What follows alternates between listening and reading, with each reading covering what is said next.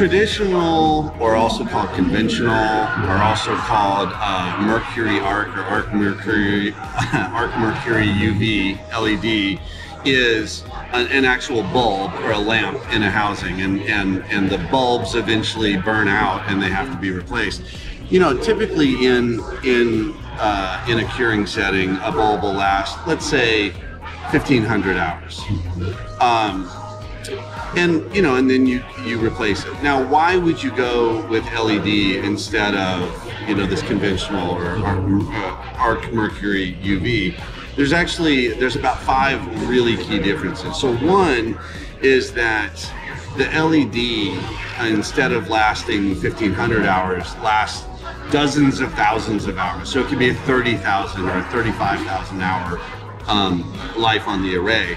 The other thing is conventional UV bulbs sort of denigrate over the life of the bulb. So the output at the half-life is a lot lower than at the beginning and it keeps dropping and dropping. LEDs are much less like that. So they maintain a much more consistent out, uh, output over the life of the bulb, or uh, I mean of the dies, um, as, as opposed to, to the conventional UV. Um, you know, uh, UV has a very, very high temperature, and so there's a lot of heat to deal with. LEDs hardly produce, they produce a tiny fraction of the heat that an arc mercury uh, bulb does.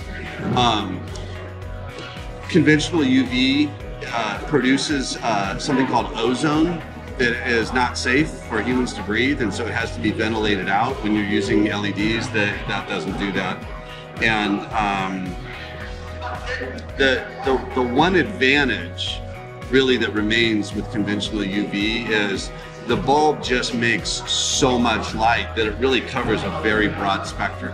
So you really just need a bulb to cover just about any of the UV curing spectrum, uh, you know, uh, places on the spectrum. LED is very, uh, very finite. So if it's, you know, it, it, whatever wavelength it is, it's only going to put out that wavelength ever. So uh, you have less flexibility in it. On the other hand, you have a much more um, efficient uh, amount of the light producing the wavelength that's sort of desired wavelength. So um, overall, sort of the the uh, the jury goes to the uh, the LEDs. LED is definitely the future. Um, AMS Spectral UV. Uh, we make not only conventional UV, including the bulbs, uh, and uh, LED UV. We also make infrared or IR. So we have quite a broad portfolio.